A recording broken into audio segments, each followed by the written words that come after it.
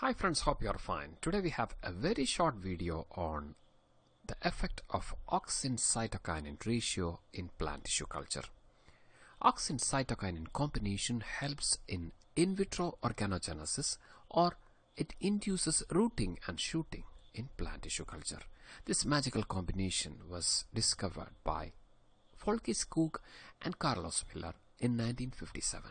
They published their result in 1957 in this paper Chemical Regulation of Growth and Organ Formation in Plant Tissues Cultured.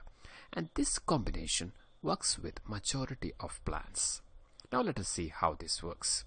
High auxin to low cytokinin concentration favors rooting in plant tissue culture.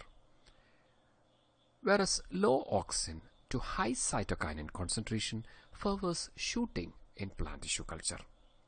Intermediate concentration of auxin and cytokinin induces callus. Callus means an undifferentiated mass of actively dividing meristematic cells that is formed in tissue culture.